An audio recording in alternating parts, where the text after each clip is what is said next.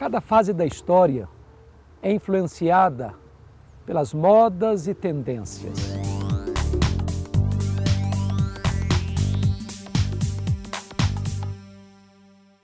Eu quero fazer uma pergunta para você.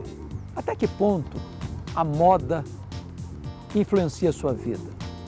Estilo de roupa, corte de cabelo, tatuagens, piercings, até mesmo a questão da opção sexual. Você é apenas produto do meio ou você pode ser uma pessoa com convicções absolutas, ainda que a tendência é de um relativismo absoluto?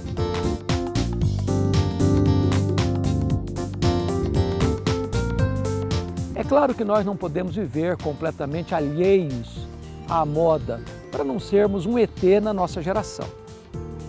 Mas nós não devemos ser governados pela moda, mas por princípios e valores. É claro que o pensador John Locke, que disse que o homem é como uma tábua rasa, como uma folha em branco, apenas produto do meio, é um equívoco. Na verdade, nós não podemos ser massa de manobra. Na verdade, nós não podemos ser governados pela opinião das pessoas. Nós devemos ter colunas muito sólidas, muito firmes, que é onde governar nossa vida.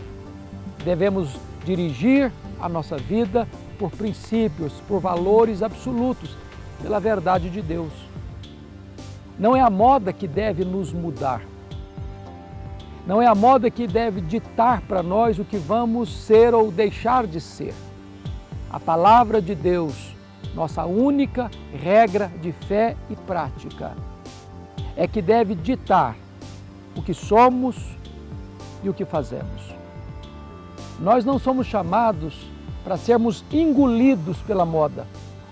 Nós somos chamados para influenciar o meio onde nós vivemos.